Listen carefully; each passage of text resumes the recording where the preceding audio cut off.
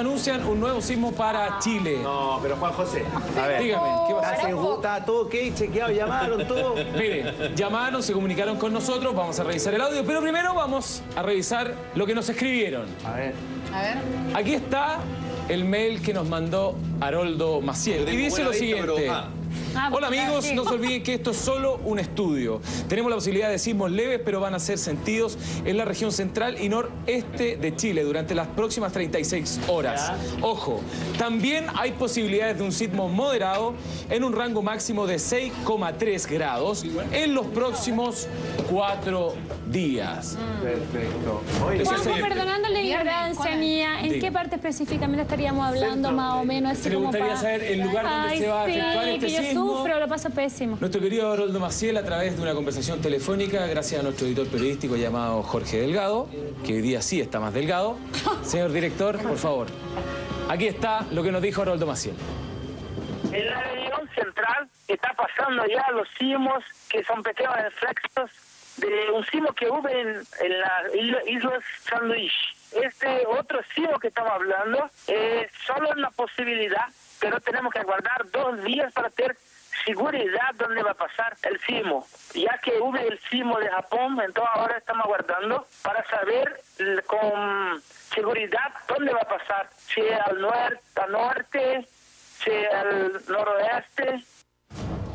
Bueno, para ser concretos, es la zona centro hacia centro norte. Oye. Lo que hay que tener en cuenta es que cuando habla de la, de la, perdón, de la, de la isla de San Luis de México son los reflejos y también El rebote, claro. de hay que estar atento al temblor que ocurrió en la zona de Japón, que también vendrían siendo las consecuencias hacia Para nosotros. complementar un poco lo que tú dices, yo creo que en Chile tenemos que asumirlo. Esto es como el Transantiago. Funciona mal, funciona pésimo. Chile es un país sísmico y en cualquier Van momento esto se mueve y concentramos el 45% de la actividad sísmica. Entonces, uno tiene que estar preparado siempre. Sus- el triángulo del oxígeno, de la vida.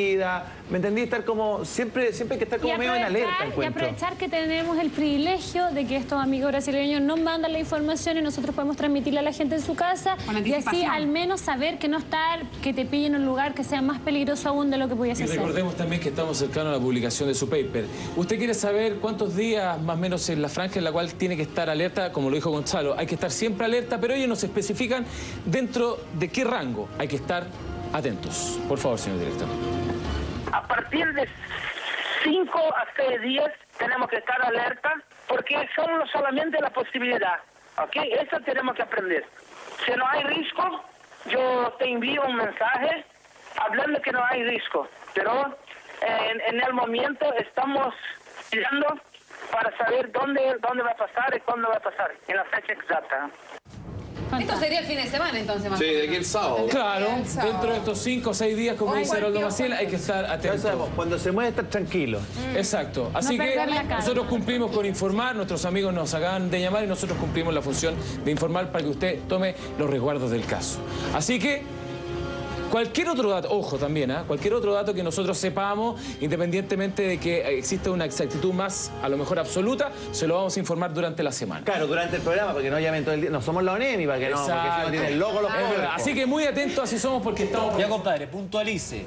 ¿Cuándo, dónde ¿Y cuántos magnitudes? Magnitud. No, pero escúchame una cosa. Nosotros anunciamos lo que está diciendo Quake Red Alert y que tiene que ver con lo siguiente. Se anuncia una posibilidad de sismo. Existe cuándo? la posibilidad dentro de Ya, estos cuatro pasa es que, días. perdona, déjeme- tú pero dices déjeme posibilidad, la pero idea uno, para que la uno gente... les cree a ellos. Pero por que eso si no la gente se de confunde, pues. Nicolás Dije Vergara, hablar, pues. que hable. Claro. Pero habla rápido. Dentro de los cuatro días ¿A partir de existe la posibilidad, a ¿De partir de ayer dentro de los cuatro días existe la posibilidad de un sismo en la zona centro-norte del país con un rango de características 6,3. Perdón, ¿de qué Ellos, de aquí el jueves, de aquí el jueves viernes Bien, más o menos. bien. Son dos cuatro días, días, pues. pues. Cuatro días. Básicamente lo que ellos están diciendo que esta posibilidad ellos la van a afinar dentro de su estudio y cualquier eventualidad de que esto no llegase a pasar, ellos nos van a avisar nuevamente para nosotros publicar. Ah, O, ya.